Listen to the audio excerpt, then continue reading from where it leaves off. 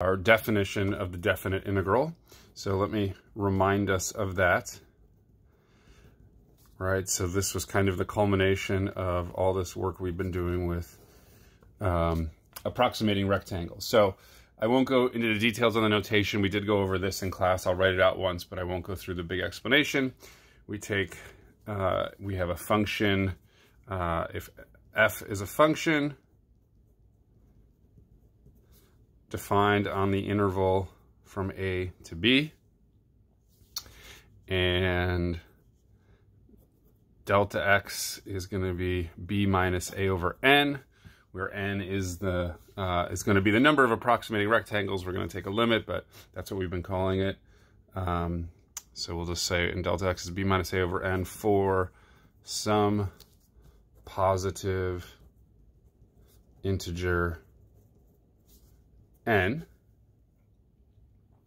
Uh, and x sub i is going to be a plus i delta x um, for i equals the numbers 1, 2, 3. It's just going to cycle through the integers from 1 up to n.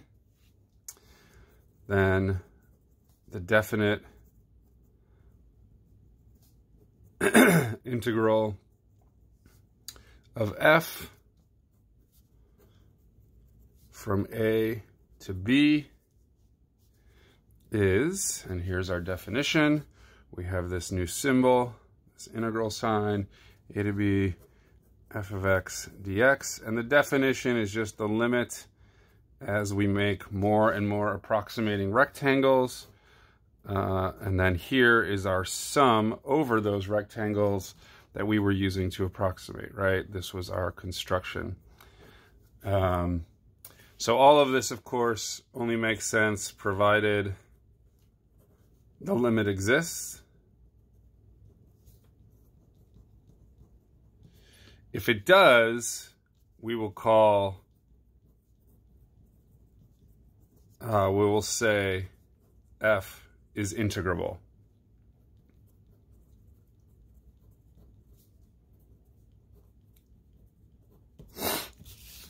Right, so there's our definition, which I, I believe we did in class. Um, I do want to point out a couple of things. First of all, I, I used a definition that that uses right endpoints. That's that's that's what this construction is right here. We've mentioned many times that uh, it doesn't have to be right endpoints.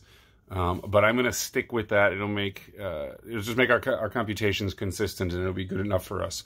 But you might see other definitions out there where it's left endpoints, mid endpoints, or really any endpoint in each in each of the little intervals when we divide up uh, uh, this line segment from A to B.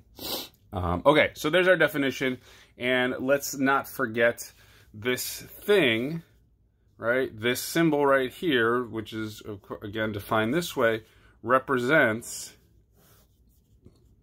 if we have a function defined over some interval,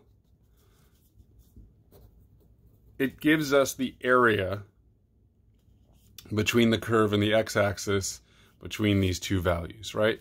Um, in other words, this thing is always going to be a number, right? This is a number that we're computing here. That collection of symbols is going to be a number. This is the definite integral. So what I want to add to our understanding in this video, this is all stuff we've done in class, is a few properties uh, of the definite integral. And I'm not going to prove any of these. We'll give some light justification based on the geometry um, I, I, let me remind us of a couple of other things. We've also said we, we ca call it the signed area because, for instance, if our function, let's say here's A and here's B, let's say my function does something like this, the area in question would be this region, this region, and this region, but the part below the x-axis would be a negative area. So we call it the signed area. Anything below the x-axis is going to give us negative area. Above it's going to give us positive area. Um, um, and that's just due to the definition we have here. Each rectangle's height is given by the function. If this height function, if the function value is negative, this will be negative, so those areas will end up being negative. Oh, sorry, I was pointing at stuff you couldn't see. The height function uh, for these rectangles is given by our function, and so if it's negative, uh, the whole area will be negative. So that's our that's our basic understanding. Let's look at a couple of properties. So we'll have properties of the definite integral. Right. And one of the big ways we're going to use these properties is really as uh, is to simplify problems. If we notice something in a problem, this might these properties might save us some work. For instance, it's similar to if you notice a function is an even function and you graph one side of it, you already know what the other side looks like. So these are similar kinds of properties that if we notice them, they can save us some work.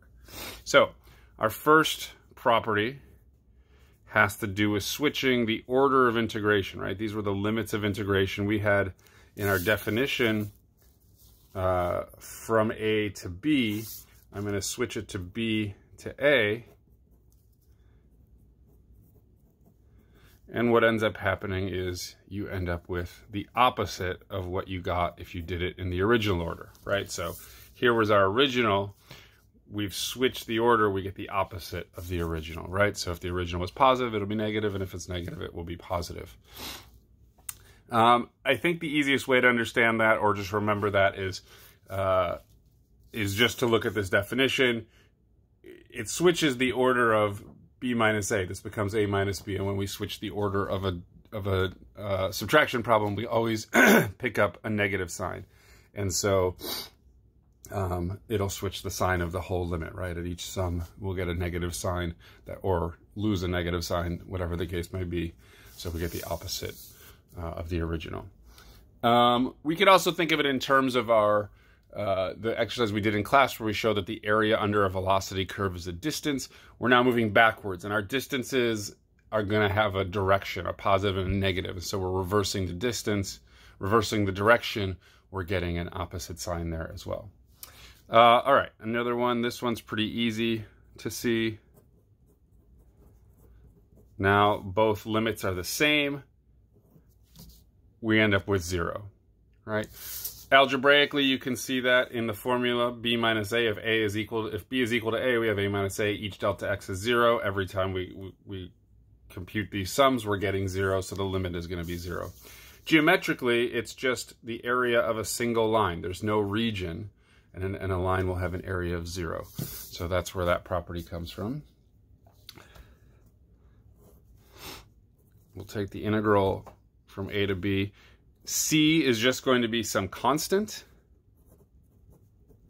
All right, so now this is the integral over a constant function. Let me draw a little picture of this. Here's a, here's b, here's our constant function. Let's call this c. Well, the area in question now is just a rectangle. The distance between these two points is b minus a. The height here is just the value of the function c. So the area of this rectangle is b minus a times c. All right, so that's an easy one to compute. We don't need we don't need to work out any of the limits. We know if it's a constant function how it's going to look. Um, all right. Suppose we create a new function by adding or subtracting uh, two functions together. All right. So I want to think geometrically and algebraically about this. So first, algebraically, well, algebraically, let me just write what the result is and then we'll talk about it. So what we can do is take each integral separately and then add or subtract the two integrals together, right? So this side is we're creating a new function by adding or subtracting two functions and taking the integral of this new function. Here we do the two integrals of the original function separately and then add or subtract those two integrals together. Okay, so algebraically, excuse me, this just comes from the fact that when we're adding functions in a summation, one of our summation rules was that we could split the summation across two functions. And then we get the same rule for limits. So I'll let you work out the details, but it, it works out pretty similarly from our summation rules and our limit laws that we can split these two things up. Uh, geometrically, it's a, it's a little trickier to draw, but suppose I have a function I'll try to make them relatively simple. Um, let's say I have a function f and a function, I don't know, g could do something like this. If I created the function f plus g,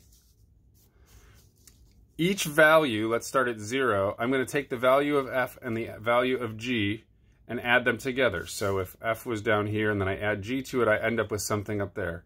At a point out here, I take the value of f and the value of g and add them together. So I'm going to get some very high point, right? So I'm not going to be able to draw this super well. But at each point, part of the height is the value of f, and part of the height is the value of g right? And we've added the two of them together. Well, if we think about approximating rectangles, what that means is we're taking the, the approximating area of f and the approximating area of g and just adding them together. So we're really stacking these two areas on top of each other to get this area. And so that's a geometric way to think about that. Just a couple of more. Actually, let's just do one more, uh, two more for this video, yeah. All right. So now we have, we'll take c as a constant again. And now we take a function and multiply it by a constant. So if here's f, let's say I multiply it by some number, maybe it's a number bigger than one, and so it stretches the function, right? I didn't do a, a, a great job of it, but let's say maybe I doubled it at each point right? So each point is twice as high. That's going to make the area twice as big. In other words, we can just take the original area under the graph of f and multiply it by a constant. So those constants slide out, right? And again, there's an algebraic way to think about this where we know from summations, if we multiply by a constant, it can slide out in front of the sum, and we know from a limit our limit law is that a constant can come out, slide out in front of a limit. And so that also tells us how that, that works algebraically. All right. And the final property that we're going to talk about in this video looks like this. A C f of x dx plus c b f of x dx is equal to a to b f of x dx. Okay. So notice what happens here. We have these two limits of integration are the same, the upper limit from one, the lower limit from the other. We can remove this one and just end up with one big integral. Okay, so let me draw a picture of this. The easiest way to see this is when C is between A and B. So here's my function f.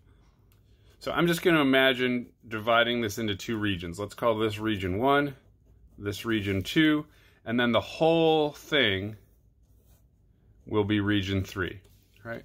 So as I've drawn it here, this is just saying if you add this area, the integral from a to c, plus the integral from c to b, you end up with a to b, right? Integral from a to c is region 1, region 2, you end up with region 3, the combination of both of them.